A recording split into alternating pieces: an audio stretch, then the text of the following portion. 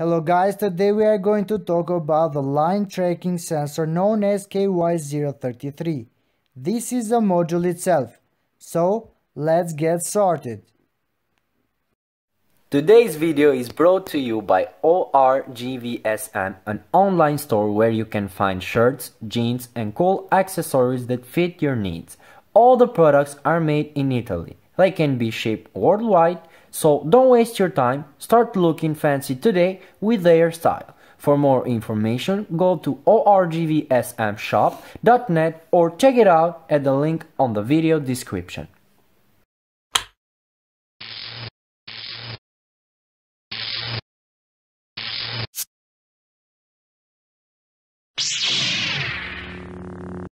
This module has integrated on board a line tracker, one potentiometer, one microchip, four resistors and one LED.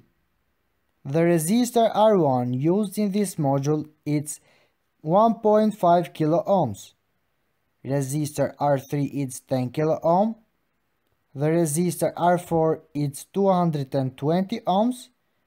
Resistor R5 is 10 kilo ohm and the main reason for using the resistors is to limit current circulating inside the module.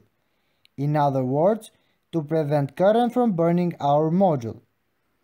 The LED L1 is used in this module to show us if the module is in the lane or not. Now I will show how these components are connected together. There we have the sensor itself and of course the 4 resistors and the LED D1. On the right you can see how the pins of the module are connected on this board. We have in black the flow of the ground, we have in red the flow of the voltage, and of course we have in green the flow of the signal. This module it is used to detect if the module is in line or not.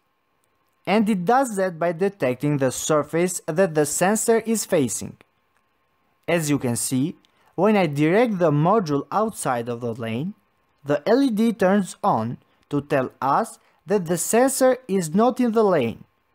And it actually does that by detecting the surface itself. More precisely, it detects if the surface reflects the light or if the surface absorbs the light. The reason why we use the black color for the lane is that the black color actually absorbs the light that the transmitters send to the surface.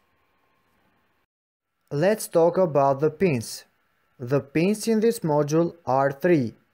We have the ground pin with a GND sign, the voltage pin with a VCC sign, and of course the pin of the signal with an out sign.